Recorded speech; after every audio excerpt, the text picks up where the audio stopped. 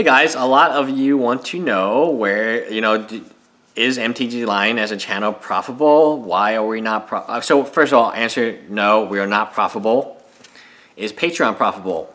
No, we're not profitable on Patreon. We're not profitable on YouTube. And the main reason, uh, the main answer to that question that some of you have of why that's, you know, some of you think I'm making a lot of money and, you know, we're just swimming in magic cards all the time. But those are from my own money. Uh, I've never really gained anything from YouTube or Patreon. I'm not sponsored. I'm not on a network. And those are, I mean, I have a lot of sponsorships offers and I have a ton of network offers, and they're pretty much like stalkers, and they keep emailing you, or you don't email them back. I just don't want that because this is a hobby to me, and that is a hobby. But now, along the lines, we do get some YouTube money. Patreon, for the most part, is negative just from Patreon, mainly because uh, shipping as well as the fact that we're giving out um, stuff of, you know, last next month it looks like we're doing two booster boxes. So my patreon doesn't collect as much as money as some of the other bigger channels but because the patreon's different. It's more of like hey i want to open stuff for you guys. Uh, we had one booster box this time and four fat packs one of them which is going to be given away at random to a patreon tokens we have tokens we have playmats we have uh, oh well also getting playmats which will uh, go into my next conversation. Where does all the money of this channel go? So first of all, we don't get that much money. Um, we, Patreon does not give us money at all.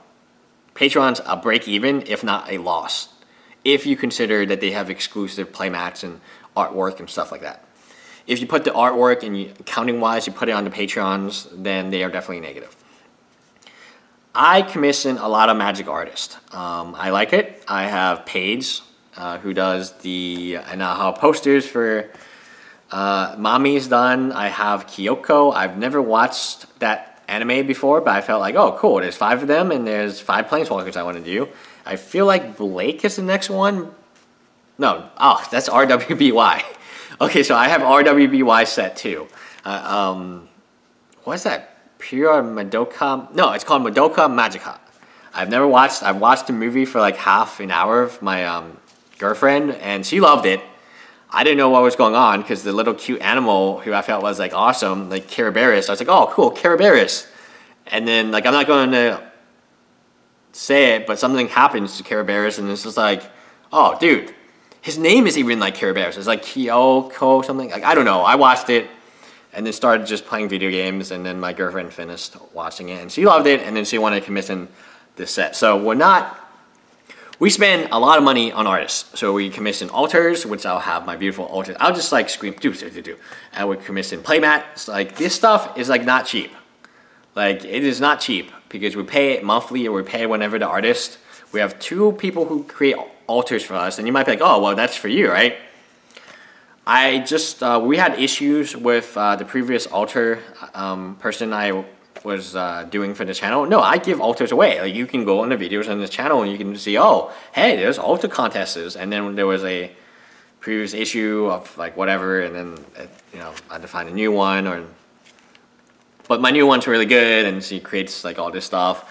Uh, playmats. I've always wanted a playmat, but I didn't want to sell the playmat, so I've asked my patrons, and they can either say yes or no, and I'm not going to pressure them, and you shouldn't pressure them either uh, to make the artwork. So the artwork, all pieces of artwork will eventually be available to the patrons, but they have screensavers, they have um, the PSD of the actual file layer and line, so they can change edits, they can make edits on it, they can move the line around, they can move the file around, they can make you know a playmat.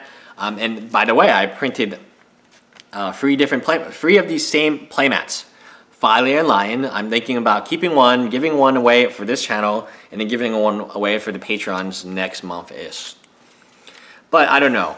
I have to see what the quality is, and I'll obviously do a review of that. So yeah, when you're paying like three different altars, one person to do custom playmats for you, like draw playmats, which I haven't given any of them away because they've just been so beautiful. Like they're not cheap, by the way do digital art for playmats, do you know channel banners and stuff of that nature.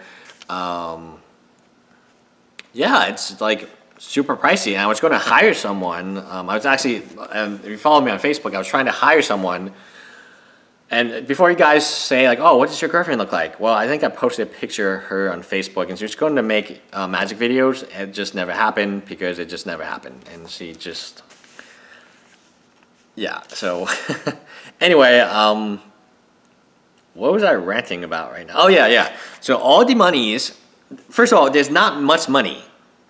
There's not much money to begin with. So when you hire someone to make a playmat for you, when you hire, I'm not going to disclose how much money, but, um, oh, I guess I'll disclose the playmat. Um, the Filey line was $80 as is, and I was supposed to pay more money for like another playmat, but the Filey line isn't done, in my opinion.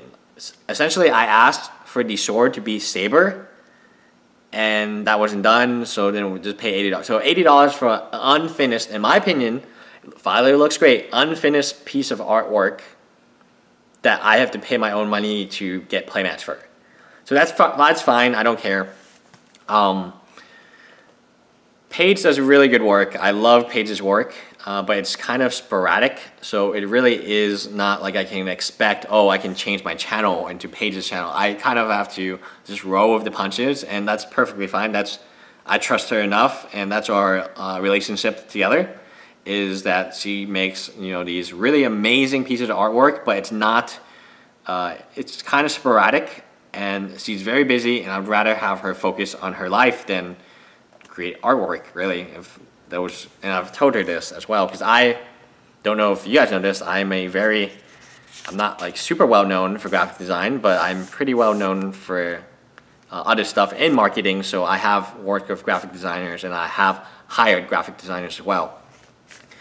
So pretty much all the money from YouTube, all we don't have any extra money from Patreon, unfortunately. Um, all the money from YouTube goes straight into artwork for the channel or altars, which eventually, like now I have altars, I can give them away now. It's like kind of difficult to give away an altar that you don't have. Um, yeah, so that's kind of where all the money goes. anyway, bye guys.